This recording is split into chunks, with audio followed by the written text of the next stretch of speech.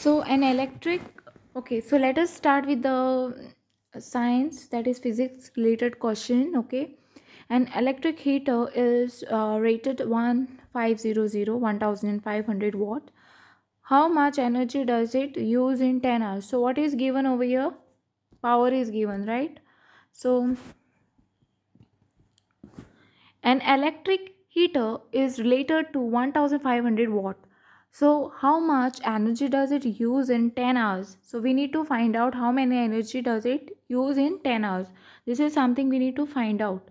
So what is the power given? 1500 watt okay?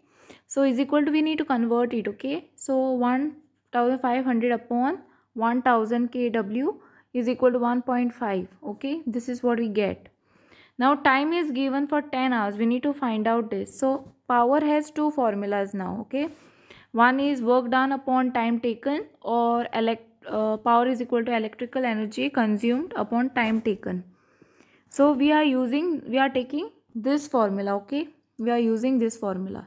So what you'll need to do is write is electrical energy is equal to power take this time taken this side okay? What we have to do is we have to take it this side. We have to multiply this with this one okay? So what we are doing is electrical energy is equal to power multiplied by time taken. Okay? So electrical energy is equal to how much is given? So electrical energy is equal to power. Power is what?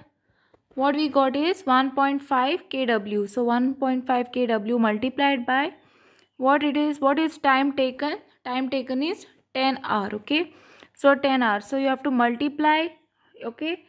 So if you multiply you will get 15 kWh okay?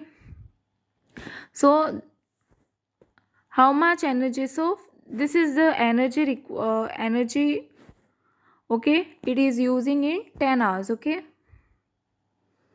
So you all can take down this problem okay? I hope you all can see this clearly and thanks for watching